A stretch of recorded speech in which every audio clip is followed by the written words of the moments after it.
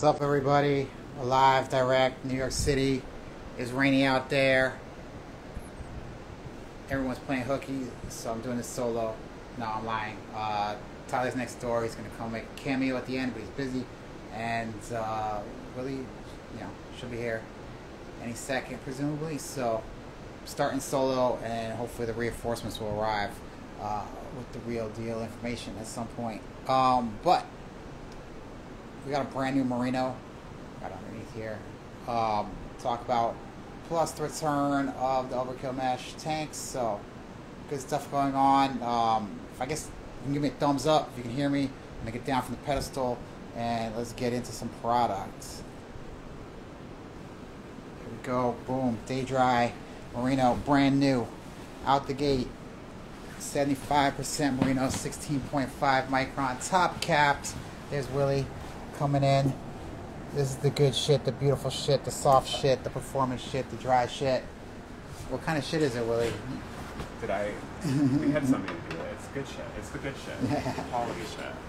No, you know It's how we do. shit. We know how. th- There we go. It's it's Miss right now. It, it's, it's right now. Let's go. Actually. All right, Daydry merino. Um, and then we got the overkill mesh. If that's more your vibe. Um, that's the redux though. So let's talk about this merino. Um, get into the hard facts, right? 75% merino, 16.5 micron, which is I think a super 140. Um, it's top capped, right? So what that means um, is that the, the biggest micron, the micron is the thickness of the of the fibers themselves, right? The the merino staples. The biggest one is 16.5, so probably averages more like 16.2. It's tight spectrum, um, so that means there's not a lot of range, right? So when you 16.5 is an average, right? And um, if it's not top capped and it's not a tight spectrum, you could have like 20s and 10s in there, right? Um, a big mix, but like the big ones are what you feel. So top capping it makes a huge difference in how well it feels. Um, it's from Australia, responsible wool standard, merino, um, beautiful stuff, and um, 16.5 micron. Um, 75% of the content is that, and then the new stuff, the magic, the excitement, the synergy is um, got 25% of a biodegradable polyester called Ciclo. Um, you know, and biodegradable polyester is not brand new, but it's been slowly. It's like in the um, incremental evolutionary stage, right? It gets better and better every year. Little little tweaks and details. Um, and the other really nice thing is that like we're, we're really amped on this particular blend. We've been doing in the past like 50-50 blends of merino and poly. And merino poly, here, straight on the camera for Tyler. He loves it when I'm on the camera. Um, merino and poly blend super, super well together because they combine two very different types of dryness, right? So merino, you know, wool is the is really the only common fiber that stays dry when it's wet, that still insulates when it's wet, right? Actually, linen feels dry, but it doesn't insulate, right? Um, and then cotton just feels wet, right? Most fibers feel wet. Um, wool, merino can suck up lots and lots of moisture, um, like 25 30% of its weight in moisture. Um, but it sucks up water vapor mostly. In most circumstances, it's just sucking up water vapor and it's actually repelling like liquid water slightly because it has a lanolin coating on the outside. So what that means is it's removing like when you're sweating, like when you're not like running a race, when you're like your average sweat is vapor and it's sucking it up, it's taking it away, and because it's repelling liquid water, it feels dry still, um, and that allows it to insulate too, right? It, it- it's crimped, it has air bubbles, so it can stay warm. That's why merino has like such a beautiful wide temperature range of comfort. Um, and so that's merino dryness, right? It's like literally removing the moisture from the air and storing it inside the fiber so that you can't feel it, right? And that's why it feels so nice and creates that nice dry body climate. Polyester is dry for a very, very different reason. Polyester feels really dry because it absorbs almost no moisture. 0.4% of its weight gets absorbed, right? So like the water has to go somewhere, but polyester like likes to wick, right? Like water wants to spread really rapidly across the surface of the polyester, um, and that increases the surface area, which means it evaporates really quickly. And since it's not holding any moisture, it feels really dry, and then the liquid or whatever that's there, like the vapor will just pass through, and the liquid that might stick on it will evaporate really quickly. So you get two different types of dryness, and when you combine them together into the Daydry, and again, this is our new favorite blend 75% merino, 25% polyester. Um, again, it's a biodegradable polyester from Ciclo. Um, it's just super, super nice. So, one of the, the synergies, like the synergy, the hidden benefit to it all, um, is that you know, merino is a crimped fiber, right? It's kinky, right? It's got lots and lots of curls. If you think about a sheep, right, like what's growing on them, it, it's curly, and then it, when you stretch it out, it snaps back, right? And so merino likes to collapse, right? It likes to snap back and close up, right? Which can be really nice if you're trying to make something really nice and warm. But um, if you're trying to make something that's that's really open and breathable, it can have some you know drawbacks to it. And when you start mixing the polyester in there, polyester is generally just like a straight fiber, right? It can be crimped or whatever. Um, it uh, when you mix in the polyester, you're adding a little bit of straightness, and so that allows the fibers to stay a little bit more open, right? So that you get more breathability in them. So that's why I like those old run weights and sport weights breathe better for some people because um, they were literally like propping the material up, so there's lots and lots of airflow um, through it. So there you have it. That's the beautiful blend.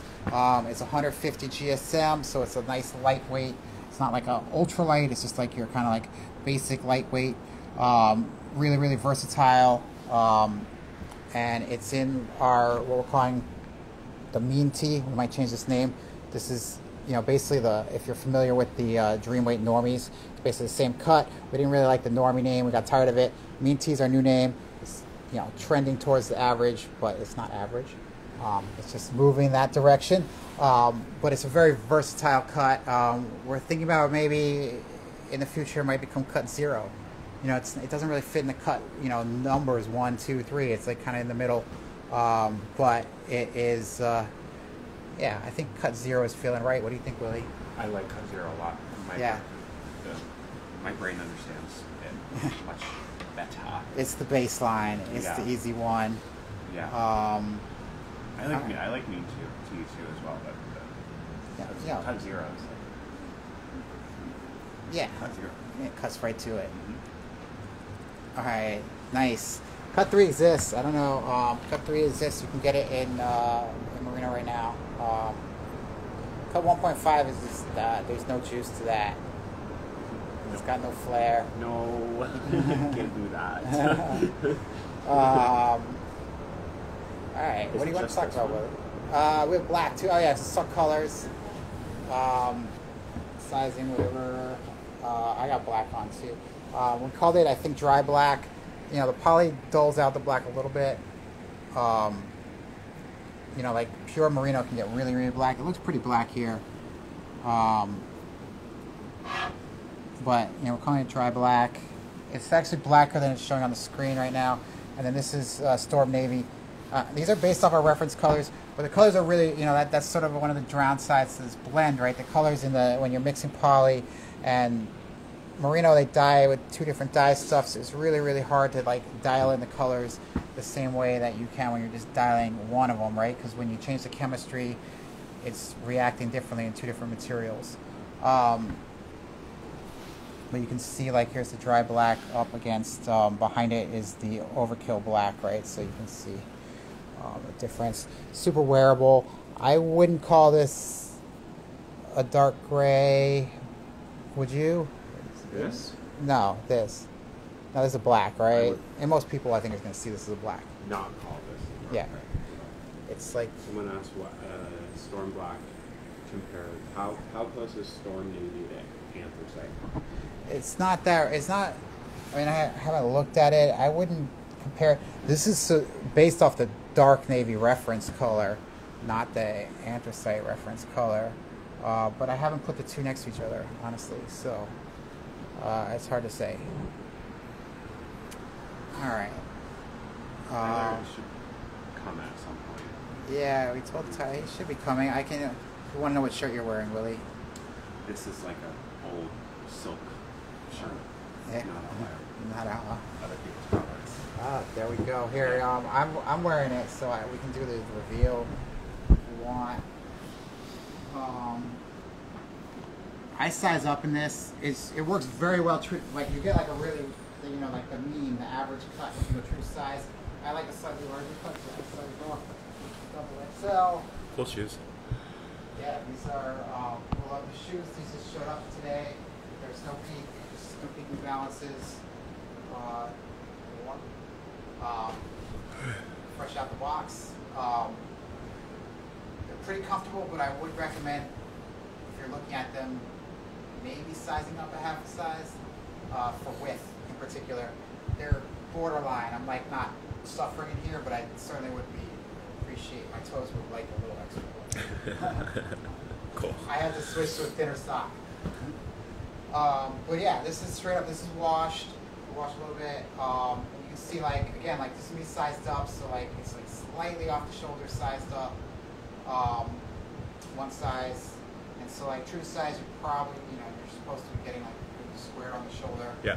Um, and you know, Okay. it's, it's just like a really really easy to wear. Ooh, can rock Tyler looks good shirt. behind you. Oh, here comes Tyler. Whoa. Tyler, Tyler's rocking some. something Okay, I didn't know he had a model booked for this. Embarrassing me. Sorry. you look great though.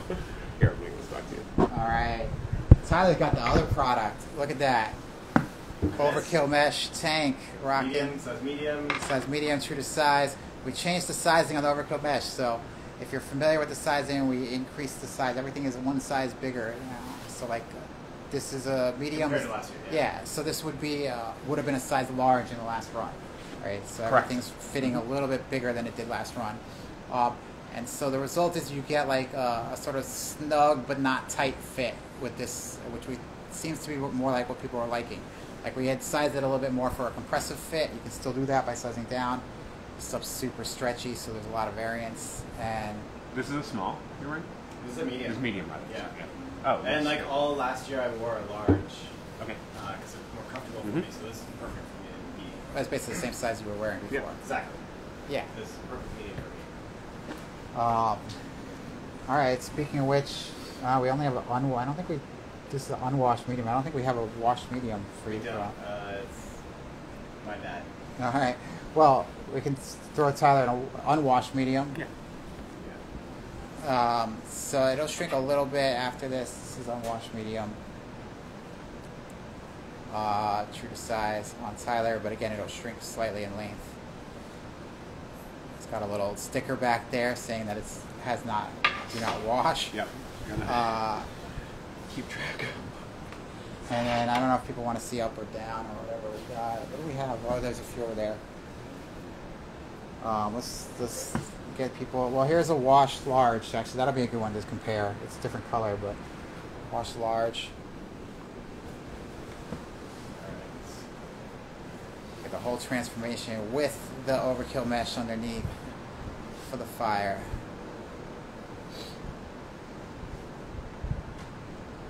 Um, so there you can see this one's also got a tag back there. See. It's pretty nice too, but again, Yeah. you get yeah, sized up looks Mhm. good. It's, you get like a looks really good. slight off the shoulder. Um, boom. And six foot, one sixty five pounds. Is that accurate today? 163. Uh, Coming back down. Loving it. Nah, 163. You guys, winter's supposed to do the other things to you. Um, you do it's too healthy. Uh, oh wait, wasn't there another? Oh, small. We could try small. Uh, is it here? I think I don't know. I didn't get everything. Small. Yeah, small. Small wash. Small washed. Um. All right, let's look at some questions. Fighter weight. Yeah, there you go. Uh, so yeah, talking about merino holes. So you know the polywool make it a little bit stronger. Like the you know, merino gets holes for two reasons, two or three reasons. Yeah, that one feels a little too small. All right, so size down. I mean, if you want a tight fit, you can rock it, but Yeah, so this is a size small. yeah, so Unwashed, right? unwashed. Yeah, so shrink mostly in length though, so you can see you get that kind of like tight chest. If that's the vibe you want, then yeah, I guess you could size down. Uh, but I don't know if this is vibe for us. Um, holes in merino. So yeah, having the polyester will reduce it a little bit, but the main reason that like merino gets holes, I'm gonna go on camera, um, is generally from like clothing moths or like carpet beetles. Clothing moths are the most common. Um, and if they're eating holes in your merino, you've got to get rid of them. It's a pain in the ass to get rid of them. Uh, cedar doesn't do much, but um, there are traps you can get, and you can also, you know, like put your merino in sealed containers and shit, um, and just get rid of the goddamn moss. You can do it. It's not impossible. It just sort of takes a long time. I've had them. It sucks. You like eating your fucking clothes. They actually like to eat my linen more than they like to eat my merino, honestly. Um, Buffet. and uh, but yeah, knock on wood, I, I got rid of them. They're certainly down now. They're they're gone. I hope they don't come back. Um, and so yeah, that's like the one reason. And the other thing can we wear? you know like merino is pretty durable, but we use really fine and thin, you know, lighter weights, right? Like the lighter it goes, like you know the, the when we go under 200 GSM, we like to use a blend, right? Because like merino under that, like pure merino under that, it's just not that durable. Um, and so the the blends, like the polys or the nylons, strengthen them up and do other things as well. Add performance, um, so you get a little bit of extra strength, but we're cutting down the weight, so there's a trade-off, right? So like, sort of compensating. Um, so from pure durability standpoint, like a heavier merino, like if you really really want a durable merino, you want to go to like a 200 GSM blend or something like that. Um, and so, you know, if it's the moss eating it, then you got to get rid of the moss. If it's abrasion, then a lot of times it's very localized. Like I used to get little holes. Like I used to, um, when I was biking on my own bike, now I use the city bikes mostly. But like when I was biking on my own bike all the time, and I would throw a chain around my waist all the time, and that chain would eat little holes in the merino, right? Um, chain lock. And so that kind of repeated abrasion back and forth. So occasionally people with backpack straps and stuff can get that sort of same sort of thing, right? Repeated, consistent things that you do every day, like every time you wear the shirt, same kind of abrasion. That that often like can cause little holes. So if you can identify that and remove it from your life, right? Sometimes it's just weird like interactions between the belt and the shirt or something, right? Like, and if you can identify that and remove it, then you're going to get more durability out of your merino. Uh, so that's merino durability. What pants are you wearing, Tyler? Uh, I gotta put you back on camera. Uh, future yeses. Yeah, it's like a nice yes. Let's see the uh, waistband. So small. Uh, it's size small, yes. Size small. Future yeses coming really soon. Uh, knock on wood. And my Uh, straps on the inside. Is this so? Here's a question. Oh. And so, is this the first LRT with the sewn in tag? Well, first of all, tags are not sewn in. Tags indicate like disposable paper things that get pulled off. So we've never used a tag Ever. uh, ever. Basically, uh, we do use woven labels. There's one here, but it's not on the Merino T-shirt. The Merino, the, the Daydry has no woven label. It has just uh, one one sticker. That has uh, the- is a special edition. And The sti- we can take the stickers off if we want. Uh, I think they're done. Their utility's done. Stickers off. We just gotta. I'm gonna post this on. Um, do not. The blue is unwashed. we just gotta remember that the storm, storm navy is unwashed. Um, but yeah, there's no um, there's no woven labels sewn on these. There are woven labels sewn on the um, overkill mesh tank. Um, side label, like everything has a side label. A carrot construction, everything. Oh yeah, care labels, yeah. And so care labels, yeah, I mean they're labels too for the most part. They get close to a tag. Some some brands make them like very like cut these out kind of, which like brings it into the tag territory. Um, let's see. The Thailand one is soft. Uh, what else? Any Goswick equivalent? Uh, not at the moment. We're gonna look. We're gonna loop back on the um, single origin.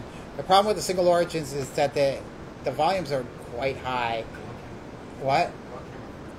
Oh, you want me on camera? Yeah, 'cause I- Tyler always wants me on camera. Um, Guys, Tyler is being stage dad, and I, I'm here for it. Um, now I don't even know what I was talking Why about. Goswick? Why Goswick? Oh, Goswick. Yeah, single origin. Goswick's an amazing single origin merino. We sourced it a few times. It's incredible. Love it. Um, we stopped during the pandemic. Like probably it was like a touch to single origin. It was like a big part of it. But it's also just like a lot of logistics. And the big thing is that um, the wool locks get sold at like at quite high volumes. They're sold in like kilograms. We don't even like when we start talking to these people, they start talking to us in kilograms, and we're like, I don't know how many shirts is a kilo. You know, like it, it's not our natural language. But but when you do the math, right, they're sold in in basically like two or three years worth of shirts, right? Which for us, right, at our size, at our scale. So that's kind of a lot to commit to at one given time. And so it's a big project, um, and it worked with the Goswick because there was a mill partner that had done the investment already, right? Um, they went ahead and they bought it and they committed and they didn't like force us to take all of it, right? Um, if we want to do it ourselves, if we want to go proactively, like without having that situation, like you know, handily laid out in front of us, right? Um, we need to commit to the, to whole lot and figure out how to use that whole lot, right? Which is either like finding other partners or committing to consuming it over, you know, two or three years, or growing, right? Um, but Merino is like kind of capped market. Like it's not Mhm. like the space that we see dramatic growth in. Like there are certain people that love, love, love merino. They buy lots of it, and we love them, and they are us. Um, but you know, there's also people that just they're like. $125 for a t-shirt, $110 for a t-shirt. Are you kidding me? Right? And that's legit. Like some people don't like the way Merino feels. I'm looking at you, Willie. Um, Sometimes I do. I have to be. I'm. I'm. I'm. I'm, mo- I'm moody with my with my dressing style. no, no, everybody's skin is Yeah. different. Willie's a cotton girl, you Yeah, know. I like cotton. She loves that Heavy. cotton, um, and that's legit. Like that's the the fiber that works best with her skin type, Mhm. right? So, uh, merino works with a wide range of skin types. Like I'm personally have oily skin, and I love it because I hate like clamminess, right? But other people like it because they sweat a lot or they like the warmth, right? So there's a lot of different reasons to love merino. Um, but yeah, like basically like we want to get back into the Goswick side of things, like the single origin, super super fine. Um, but it's expensive, and we need to like grow the market to get there. Um, what else do we got? Um, let's see, merino socks. You know, like they don't even make the yarn that we used to make our socks with anymore. We just learned this.